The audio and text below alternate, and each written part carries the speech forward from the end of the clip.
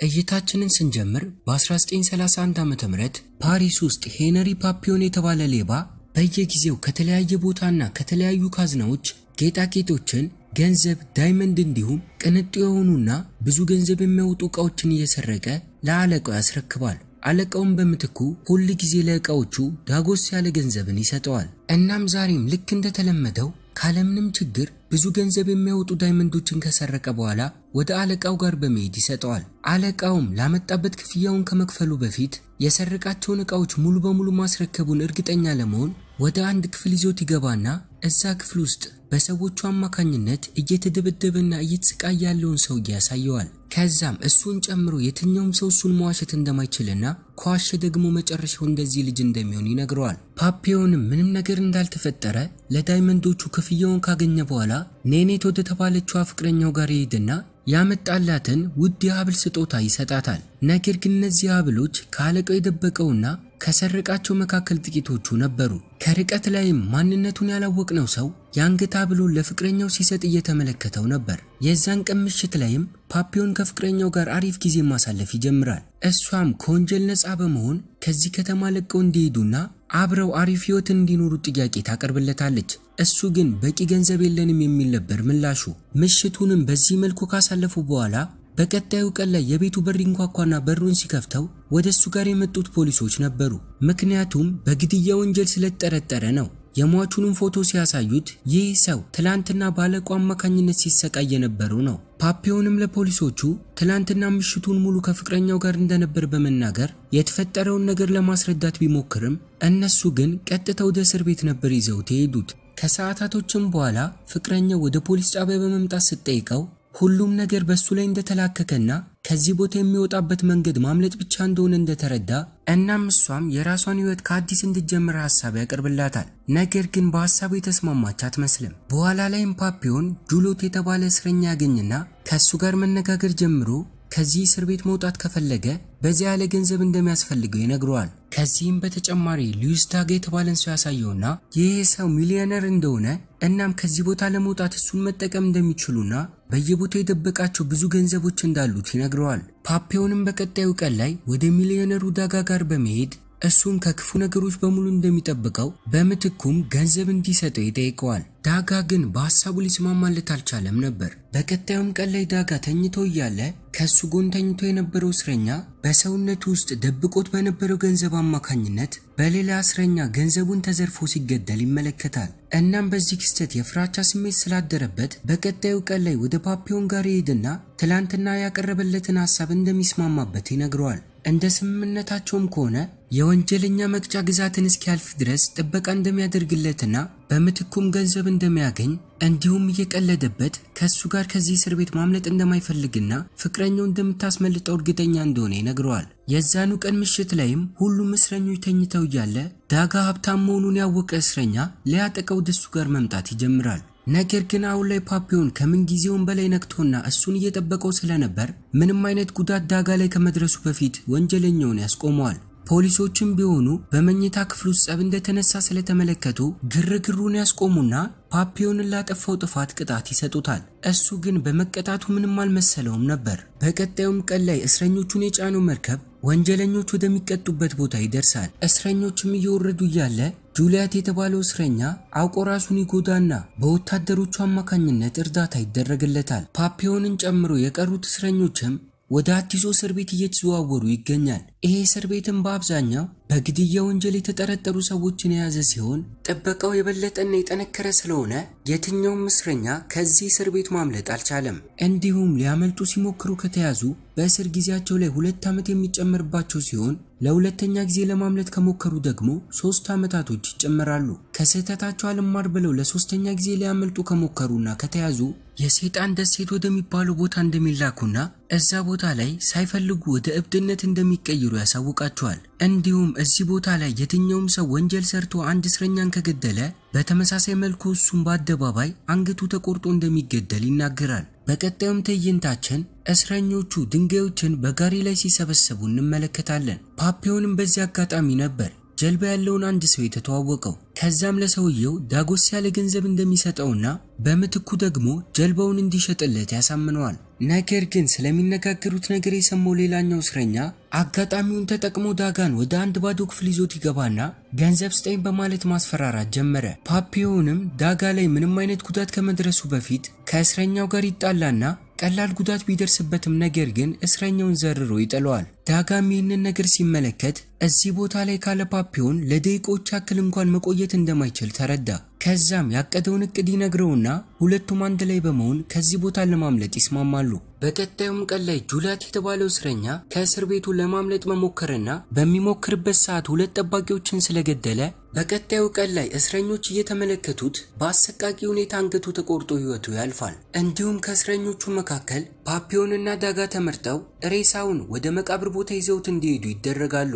ዳጋ ግን በሕይወቱ ለመጀመሪያ ጊዜ ሬሳ እንዲሸከም ስለተደረገ እዛው መንገድ ላይ ይጥለዋል። ጥበቃውም አንስቶት እንዲሸከም ቢነግረውም ሊስማማለት ስላልቻለ ጉልበት በመጠቀም እሱን ይደበድበው ጀመር። ፓፒዮንም የዳጋን ሕይወት ለማትረፍ ሲል ከመሬቱ ላይ ድንጋይ ያነሳና የወታደሩን ጭንቅላት በመምታት አጥቅቶት መሬት ላይ ይጥለዋል። ከዛም ለማምለጥ ከዛ ቦታ እንቅስቃሴ ቢጀምርም ዳጋ ግን በፍርሃቱ አማካኝነት ጫካው አካባቢ ይዘው ተደብቆ ይቀራል። ፓፒዮንም አመሻሽ ላይ ጀልባ ሊሸጥለት ከተስማማው ሰው ጋር በድብቅ ቢገናኝም ሰውየው ግን የፓፒዮንን መምጣት ከተመለከተ በኋላ እየሳቀበት በእስር ቤቱ ጠባቂዎች ቁጥጥር ስር እንዲውል ያደርገዋል። ምክንያቱም ለብዙ ዓመታቶች ያክል ከፖሊሶች ጋር አብሮ ሲሰራ ስለነበርና እስረኛ ለማምለጥ ሲሞክር እሱም ለፖሊሶቹ በመናገር እንዲያዝ እያደረገ ኮሚሽን እየታሰበለት ገንዘብ ሲከፈለው ስለኖረ ነው። ከዛም ጠዋት ላይ ጠባቂዎቹ ፓፒዮንን ወደ እስር ቤት ሲመልሱት ኃላፊው ለፓፒዮን ትላንትና በድንጋይ ያጠቃው ጠባቂ አሁንም በሕይወት አለ በማለት ይነግረዋል። ነገር ግን ለማምለጥ በመሞከሩ ምክንያት ወደ ሌላ እስር ቤት እንዲዘዋወር ተወሰነበት። ይህም እስር ቤት ከዚህ ቀደም እንደለመደው አይነት ሳይሆን ከዚህ ቀደም የነበረበት እስር ቤት ውስጥ ከጓደኞቹ ጋር እንደፈለገ መጫወትና መነጋገር ቢችልም እዚህ ግን ምንም አይነት ድምፅ ማውጣት እንደማይቻል ነበር የተረዳው። እንዲሁም በቀን አንድ ጊዜ ብቻ የማይጣፍጥ ምግብ ይሰጠዋል። እሱም ካለምንም አማራጭ እሱን እየተመገበ መኖር ጀመረ። ከቀናቶችም በኋላ አንድ ቀን ላይ ወደ እስር ቤት ክፍሉ ኮኮናት ይላክለታል። ከኮኮናቱም በተጨማሪ በቁራጭ ወረቀት ላይ ካሁን በኋላ ኮኮናቶች እንደሚላክለት የሚናገር ጽሑፍ ይገኛል። ፓፒዮንም ወረቀቱን ሲመለከተው ይሄ ነገር ከዳጋ እንደተላከለት ተረዳ።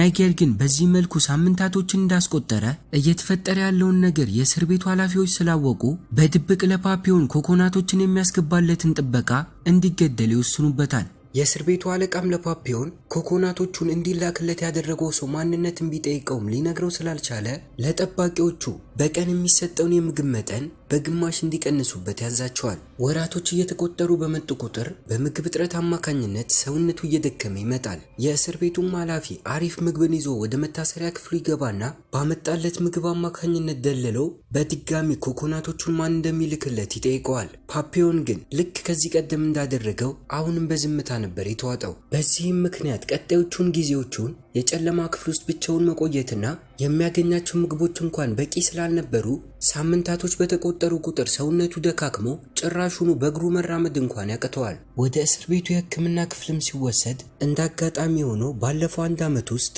ዳጋ እስር ቤት ውስጥ ምንም አይነት ችግር ስላልፈጠረና ካለምንም ችግር ከጠባቂዎቹ ጋር እየተስማማ ስለመጣ እስረኛ ቢሆንም የሕክምና ክፍል ውስጥ እንዲሰራ ተመድበዋል። ይሄም አጋጣሚ ከአንድ ዓመት በኋላ ፓፒዮንና ዳጋ እንዲገናኙ ረድቷቸዋል። ሰላምታ ከተለዋወጡ በኋላ ከዚህ ቦታ እንዴት ማምለጥ እንደሚችሉ ማሰብ ጀምረው ለእነሱ ታማኝ የሚሆኑ ተጨማሪ ሁለት እስረኞችን እንዲረዷቸው መጠየቅ እንዳለባቸው ይስማማሉ። ከዛም በግዝፈትና በጥንካሬ ከነሱ ጠንከር ያለውን ሴሌና ማቱሬ የተባለውንና ሁሌም በእስረኞች የሚሰቃየውን ታሳሪም ይመርጡታል። በቀጣዮቹ ቀናቶች ላይም እንዴት ማምለጥ እንዳለባቸው እቅዶችን ከነደፉ በኋላ እስር ቤት ውስጥ ግርግር የሚበዛበትንና የዝግጅቱን ቀን መርጠው በዝግጅቱ ላይ ጥበቆቹ በሙሉ እየተዝናኑ ስለነበር ዳጋ ለእነሱ ልክ እንደ አስተናጋጅ ማገልገል ይጀምራል። ፓፒዮንን ጨምሮ አዲሶቹ ሁለቱ ታሳሪዎችም ሌላኛው ክፍል ውስጥ ሆነው ዳጋ ቁልፉን ይዞ እስኪመጣ ድረስ እየተጠባበቁ የነበረ ቢሆንም ሳይታሰብ ዝናብ በመዝነቡ ምክንያት ዳጋ ሲቆይባቸውና የእስር ቤቱ ጥበቃዎች ወደ የስራ ቦታቸው እየተመለሱ ስለነበር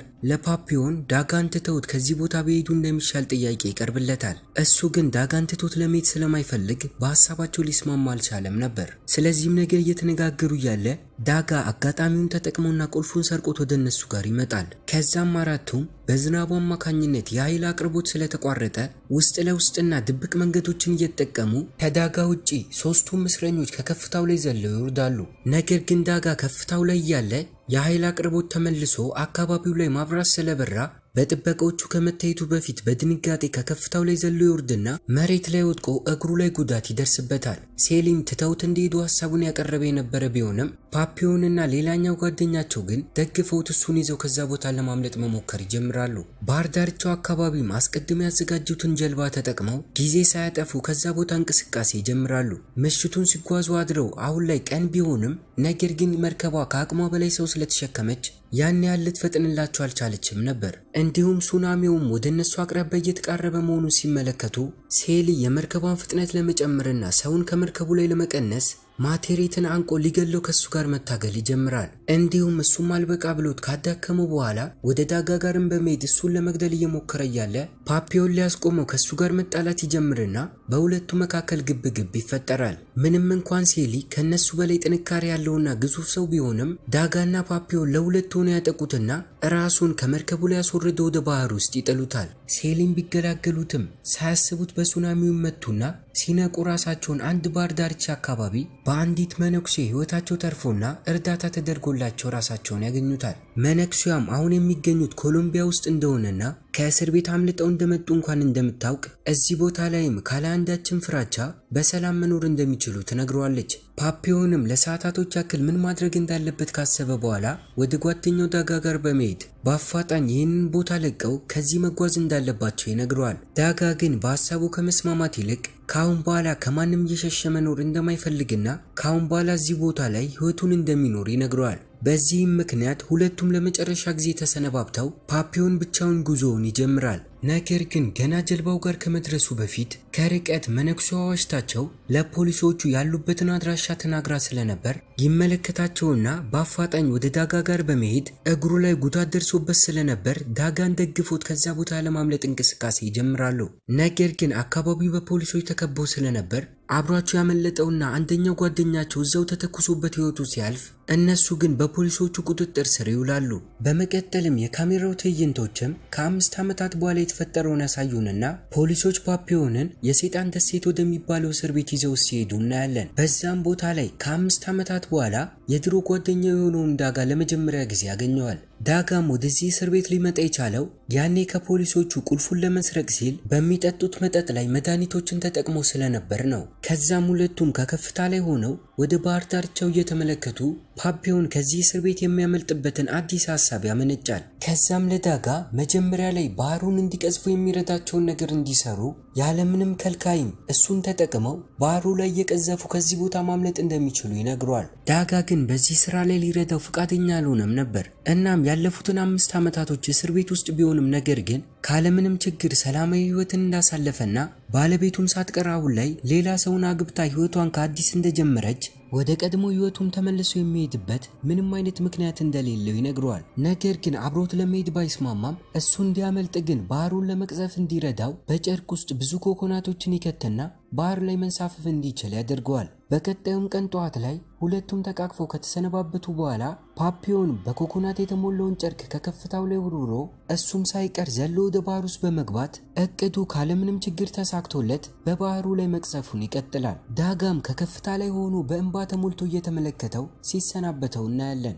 በመጨረሻም የካሜራው ትዕይንቶች በ1967 ዓ ም ቬንዙዌላ ውስጥ ያሳየናል። በዚህም ጊዜ ላይ ፓፒዮን ፈረንሳይ ውስጥ ከእስር ቤት ያመለጠ እስረኛ ሆኖ በፖሊሶች እየተፈለገ ያለ ቢሆንም ከሁለት ዓመታት ቆይታዎች በኋላ በ1969 ዓ ም ለሰራው ወንጀልም ሆነ ከእስር ቤት በማምለጡ ይቅርታ ይደረግለታል። እሱም የህይወት ታሪኩን በሙሉ ጽፎና አሳትሞ ሊለቀው እየተዘጋጀ ይገኛል። የመጽሐፉንም ርዕስ ኮኮናት እፈልጋለሁ ብሎ ሲሰይመውና በኮኮናት አማካኝነት ጓደኛውን ሲያስታውሰው እናያለን። በመጨረሻም ከ38 የስቃይ ዓመታቶች በኋላ ለመጀመሪያ ጊዜ ወደ ሀገሩ ፈረንሳይ ፓሪስ ከተማ ሲሄድ እያየን ፊልሙን እዚህ ላይ እናበቃለን። ቤተሰቦች እንደተመቻችሁ አልጠራጠርም። ድጋፋችሁንም በ like ና በ comment አሳዩኝ። የምትገኙት ሁለተኛው YouTube channel ኤ ላይ ስለሆነ የኮሪያኖች TV series ንና movie ለመመልከት ወደ ዋናውና የመጀመሪያው YouTube channel ኤ አጭር ፊልም እየገባችሁ subscribe ማድረጋችሁን እንዳትረሱ።